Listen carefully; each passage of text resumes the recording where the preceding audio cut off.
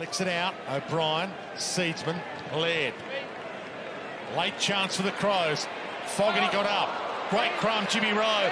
He faked, he kicked, he mesmerised them, Jimmy.